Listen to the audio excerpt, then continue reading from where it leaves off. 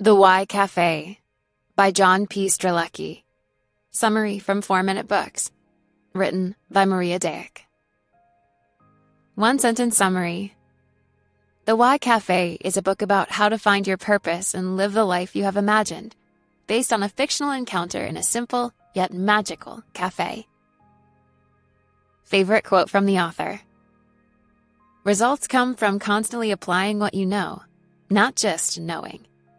John P. Strelecky. John, a busy manager, was on his way to his much needed vacation. Suddenly, he ran out of gas and ended up at the Why Cafe. On the back of the menu, he found three existential questions Why are you here? Do you fear death? And are you fulfilled? What a weird cafe, right? Perhaps it depends on who you ask.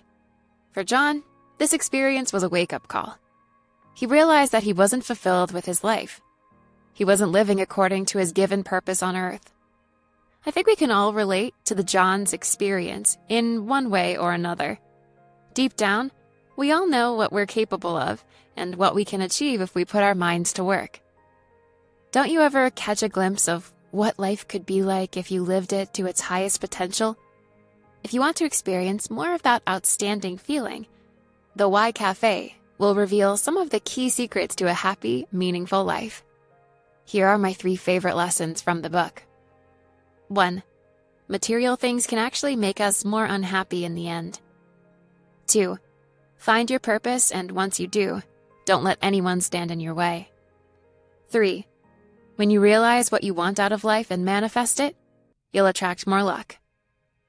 Let's explore them one by one. Lesson 1 Don't fall into the trap of materialism set by advertisers. As humans, we are visual creatures. We love to look at things, feel them, showcase them, and advertisers know it. In fact, this is how they build their successful businesses and manage to get into our minds. They make us think that the key to happiness lies in more and more possessions. They create ads that are meant to be glamorous and desirable. And they promise that once you buy yourself a particular thing, you'll be happy. Or at least happier. In fact, spending more makes you inflate your lifestyle, increases your desire to buy more and more things, and achieve that promised happiness, all while keeping you engaged in this vicious cycle. On top of that, all these things keep you from targeting your focus and resources towards your true purpose.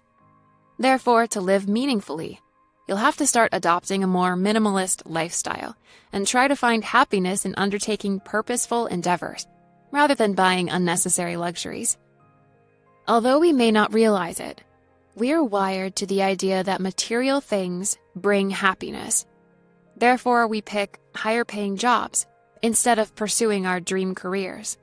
Then we feel frustrated and miserable, living every day feeling like we have no real meaning. How disappointing! It's time to step back and reconsider your priorities. For example, if you're hardly ever at home, you probably don't need a condo with a view, right?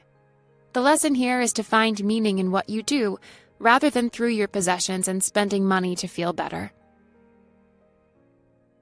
Lesson 2 Finding your purpose is your most intimate experience, so don't let anyone ruin it for you. As we go through life, there are certain occasions when we experience remarkable, electrifying experiences that no one but ourselves seems to understand.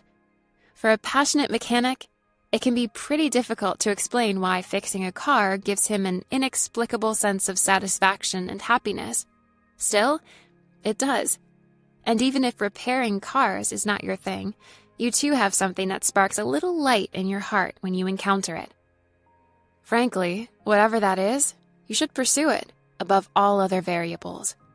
Material things are just a trap set by profit seekers, as we've discussed in the previous lesson.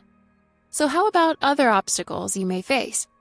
Here I'm trying to emphasize the enormous impact our friends and family have on us. Although we may not realize it, the people we surround ourselves with play an important role in our development and our future actions. Most often than not, we're afraid of what our relatives, friends, and community will have to say about our decisions.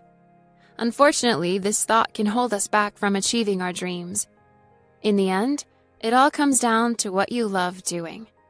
Therefore, mark down the times when you feel most alive, when something clicks in your head and your heart, and when you feel happy doing something. Then, try to pursue those things and make them part of your life. It doesn't matter if it brings you financial benefits or what your acquaintances would think. Now, before we get into lesson number three, if books like this one inspire you to live your best life and accomplish your dreams, you should download our free list of the top 10 most motivational books ever written. After summarizing over 1000 books, we handpicked these 10 best of the best and turned them into a visually stunning, easily skimmable PDF. Use it to pick your next great read and stay inspired en route to your biggest goals. Simply enter your email using the link below this video, confirm in your inbox, and we'll instantly send you the list, free of charge. Alright, let's dive into lesson number three. Lesson 3 Living according to your own definition of happiness will make the universe work even harder for you. If you've discovered your purpose and you're ready to live according to your own happiness formula, congrats, you're halfway there. Living a happy, meaningful life is definitely achievable, yet the how part is something you'll have to figure out on your own. While there are ways to help yourself discover what your purpose is and how to overcome challenges in the process of self discovery, there's no such thing as a one size fits all formula for living your life. Simply put, you must pursue whatever makes you happy in a way that makes you happy. If you find pleasure in working as little as possible and spending time with your family, so be it. If you enjoy painting for hours and hours every day, try to do it as much as possible. While there's no right way to live your life, there is a wrong way, not following your inner purpose. On top of that, it gets even better. Once you start living meaningfully, the universe will make everything else happen for you. Haven't you noticed how people who seem to be the most fulfilled are also extremely lucky?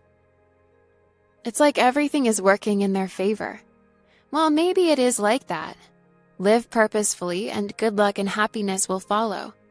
It's just an unwritten rule of life. Unfortunately, there's no amount of money in the world that can fix this rule if you don't follow all the steps. Hey, this is Nick, the founder of 4 Minute Books, and if you found this book summary inspiring, then I'm sure this next one will motivate you even more to make your dreams come true.